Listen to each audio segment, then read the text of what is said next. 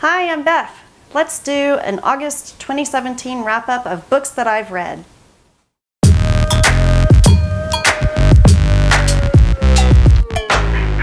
So I haven't done one of these monthly booktube wrap-up videos before, but what the hey, I'm willing to give it a try. Um, so August was a really good month in books for me. I usually vet the books I read pretty heavily, so there's not really a stinker in the bunch. They're all pretty good, so let's get right to it. Number one is Hunger by Roxane Gay. Technically, I finished this one July 31st, not in August, but I mean, come on, how can I not talk about it? It's that good. In it, the famed feminist um, author Roxane Gay talks about a nonfiction account of what led her to her current weight situation. It started with a brutal gang rape whenever she was a teen and has led up to just um, some emotional problems, eating disorders. It's heartbreaking. It's heartbreaking to read. She's really fearless in how much she lays out for us, the reader. She um, she gives us pieces of herself that make me just so thankful for uh, for the gift of her words. So, Hunger by Roxane Gay. It's really moving, and I think you should read it. Number two is Wishful Drinking by Carrie Fisher. Oh, how I miss Carrie Fisher. She is one of my favorite authors. She's just so funny and acerbic and witty, and she has so many, um, so many one-liners that just stick with me and make me laugh out loud. It's kind of rare that I laugh out loud to books or cry actual tears, but but Carrie Fisher made me laugh out loud. She talks about the electroconvulsive therapy that she did to deal with some of her issues, specifically with her bipolar disorder. And she talks about growing up the mother of Debbie Fisher. She talks about her beautiful daughter Billie, who she loves, loves, loves. She talks about um, her relationship with Paul Simon, the famed singer. She just goes through a lot of things, all of it with her special brand of wit and charm. It's just such a good book and makes me miss her all the more.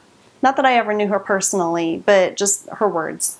Number three, The Fifth Letter by Nicola Moriarty. In this book, it's kind of similar to books like um, Truly Madly Guilty or Big Little Lies, which is not a coincidence considering that Nicola Moriarty and Liane Moriarty are sisters.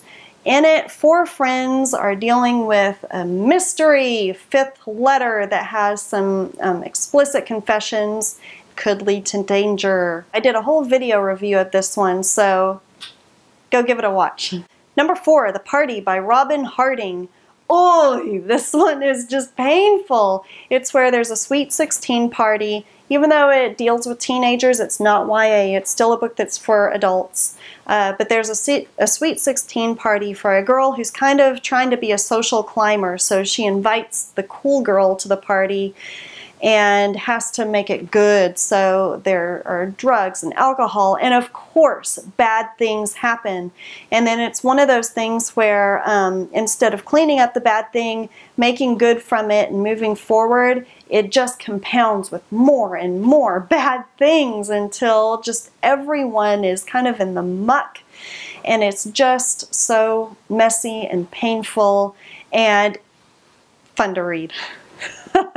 I hate to say that because it makes it sound like I am gleeful in their pain and I'm not gleeful in their misery. But it's just interesting to see how things compound and just get worse and worse. The party sounds like a load of fun. Number five is Baby Doll by Hollie Overton. Oh, I hate drawing comparisons between books, but this one is kind of the exact same situation as Room. Um, sorry, but it's still a good book. So in it, a girl or a young woman has been kidnapped by a man, held for many years, had a baby while in captivity, and then one day manages to escape with that baby. And so the bulk of the book is dealing with the aftermath of her escape. Um, the conflicted feelings that our families that our family has, the guilt, the um, trouble acclimating to this new life, the kid who has trouble acclimating as well, and then um, one thing in particular with with um, Baby Doll is the twin sister and how she deals with all of it.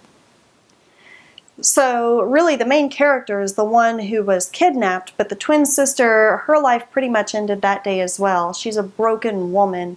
And so we see her struggle with that and her climb up or attempts to deal with that.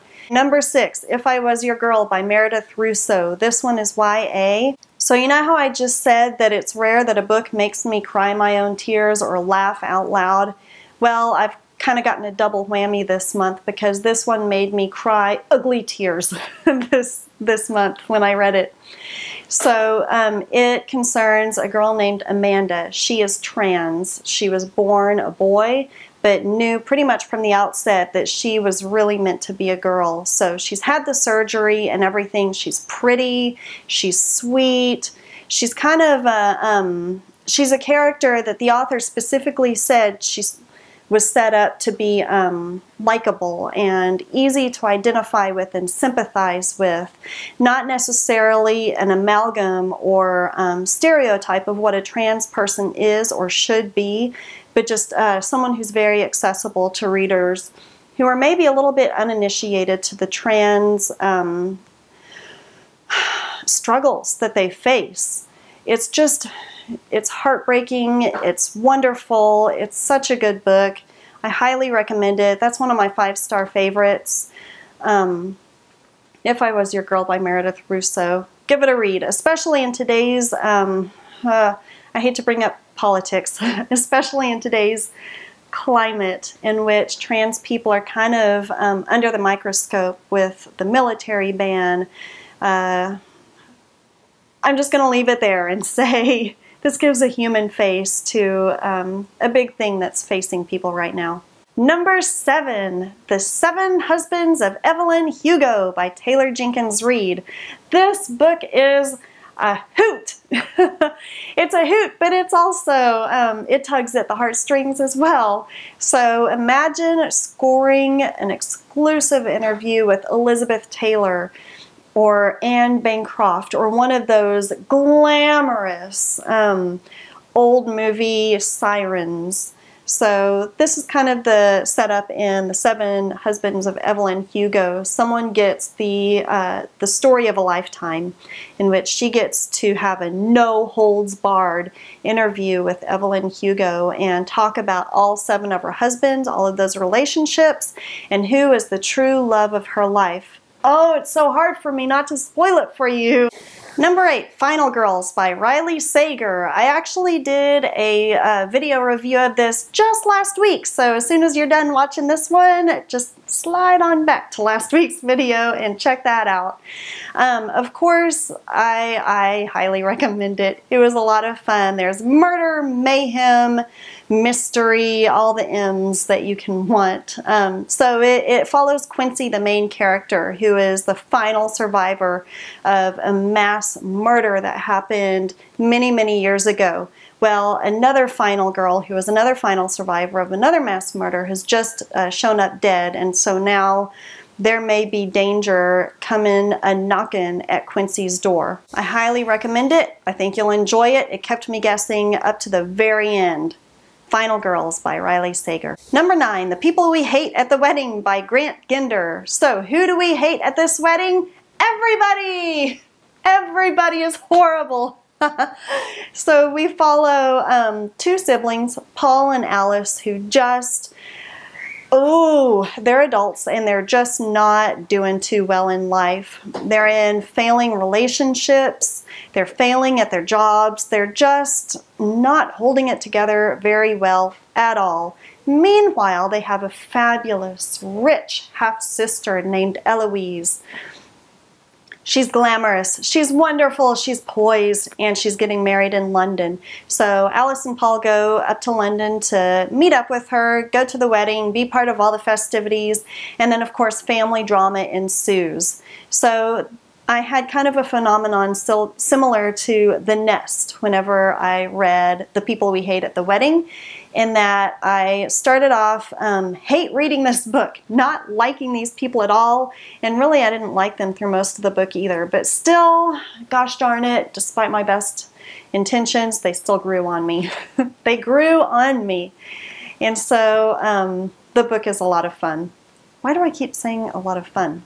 10, last but certainly not least, and also another uh, really good entry is Exit West by Mohsin Hamid. Exit West follows two young lovers in love. Um, and I say lovers loosely because they never really consummated. So there's Nadia and Saeed, and they they fall in love, and meanwhile the city all around them is being torn apart by war.